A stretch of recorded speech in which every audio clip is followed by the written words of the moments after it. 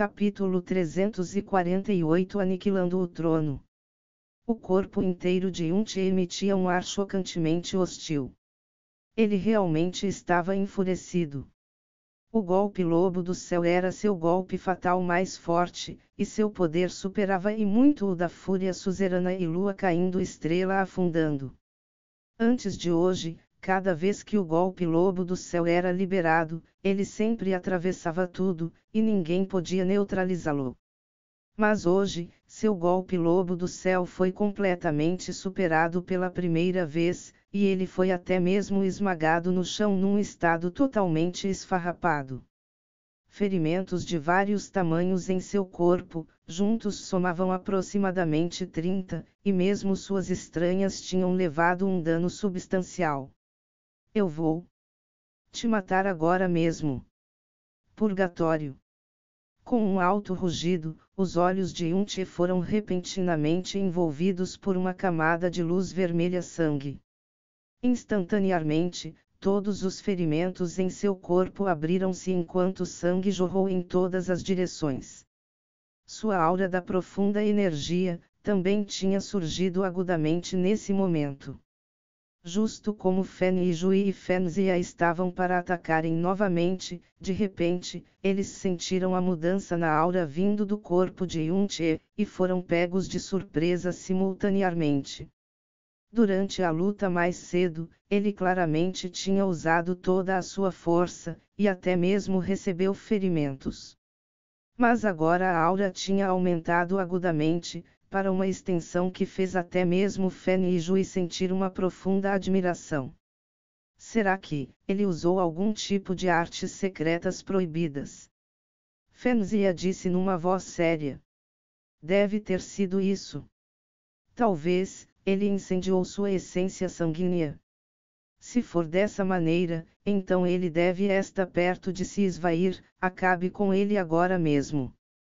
Após um curto período de tempo de pausa, os dois grandes tronos soltaram um rugido simultaneamente e as duas marcas dos céus ardentes desceram do céu, caindo em direção ao topo da cabeça de Yunche. Desta vez, Yunchi não evitou, ao invés disso, ele foi repentinamente para frente na direção das marcas dos céus ardentes e saltou direto para cima, conforme a Dragon Fault esmagou violentamente nelas.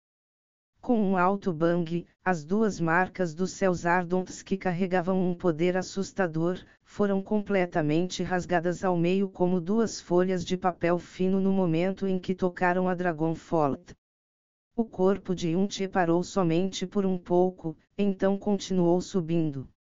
Dentro das pupilas repentinamente alargadas de Fen e Jui e Fenzia, ele se apressava diretamente para frente.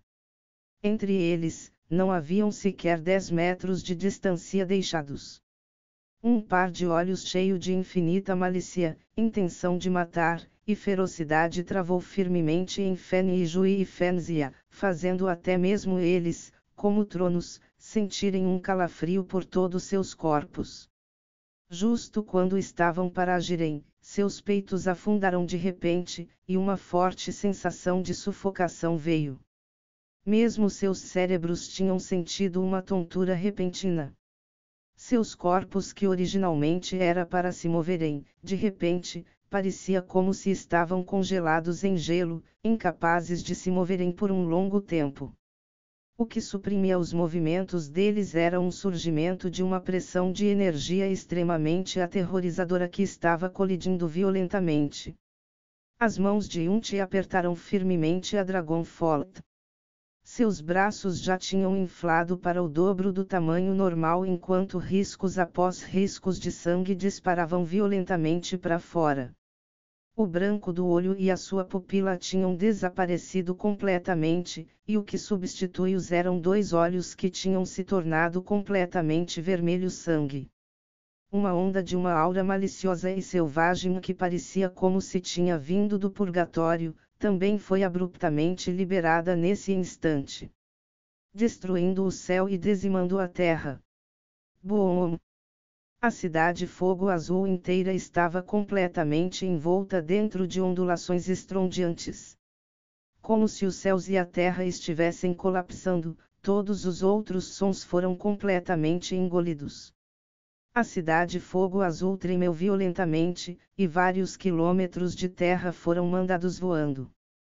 Pedras despedaçadas e areia foram varridos por quase um quilômetro no ar, quase tocando as nuvens no céu. Na área em volta, os ouvidos de todos os espectadores ficaram instantaneamente surdos.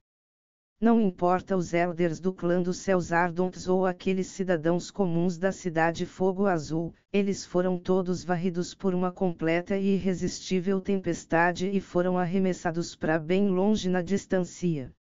Medo infinito apareceu nos rostos de todos presentes.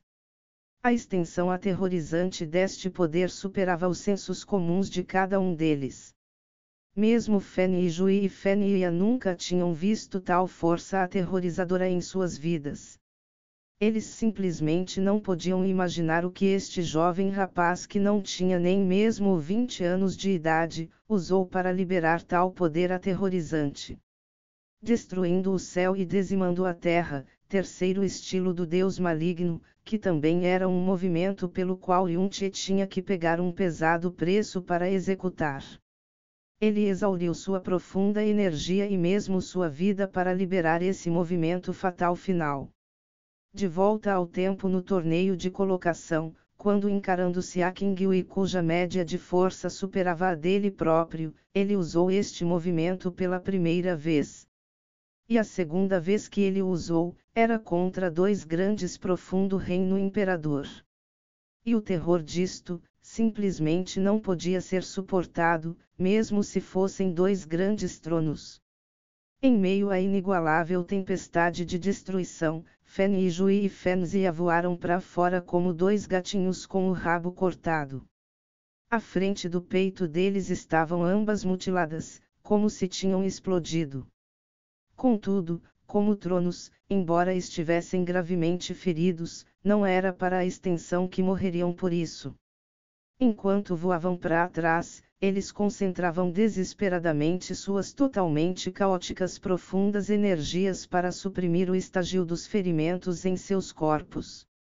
E nessa hora, conforme a fina areia que borrava o céu desapareceu, a multidão viu um traço de uma figura em chamas escarlate que era como um meteoro cruzando o céu na direção de Fenzia.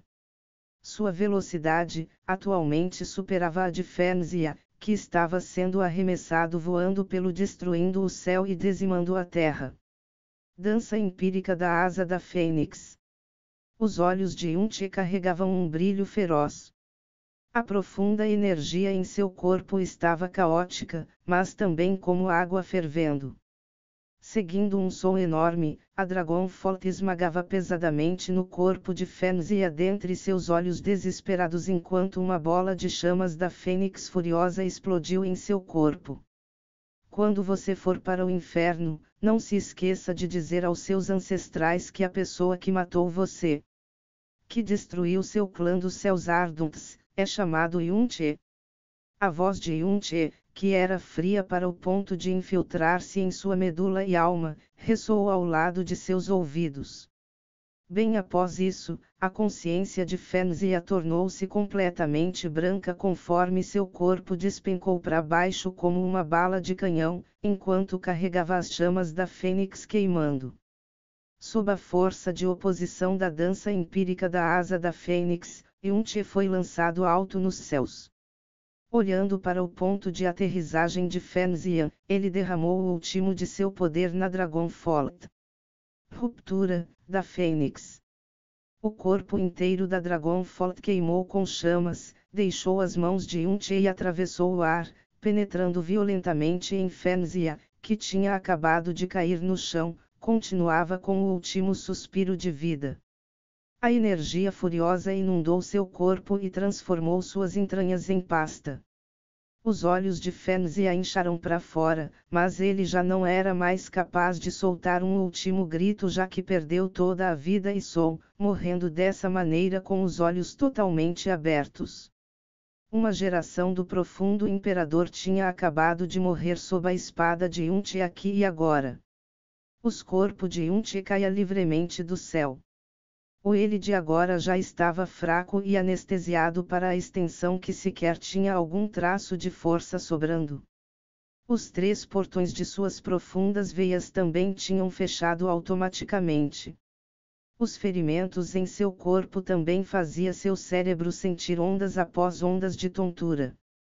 Após dar uma última olhada para Fanny e Jui, que caiu aproximadamente um quilômetro de distância, ele disse numa voz rouca, pequena Chan. Vamos.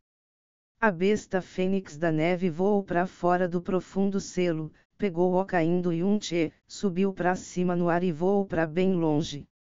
Alguns poucos elders do clã dos céus ardentes quiseram persegui-lo, mas como a velocidade da fênix da neve era algo que eles poderiam se igualar.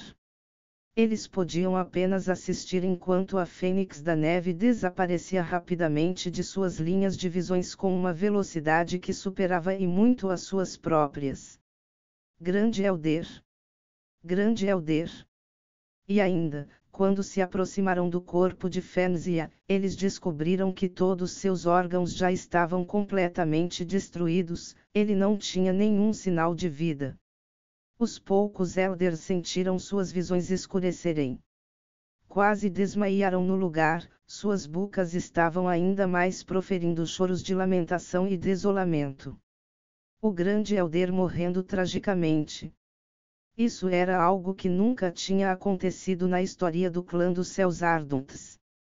Mesmo um expert do profundo imperador sendo morto, era algo que quase nunca tinha acontecido em toda a história do Império Vento Azul. Isso era porque o profundo reino imperador era o ápice do vento azul no verdadeiro sentido.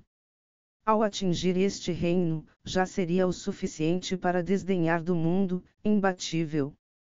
Se dois estão no profundo reino imperador, talvez um podia ser derrotador, mas basicamente não podiam serem mortos.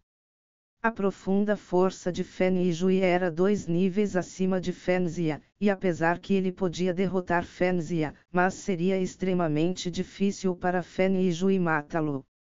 A principal razão pela qual as quatro seitas maiores podiam ficar no topo por tantos anos no Império Vento Azul, era por causa dos tronos que existiam dentro dessas quatro seitas maiores.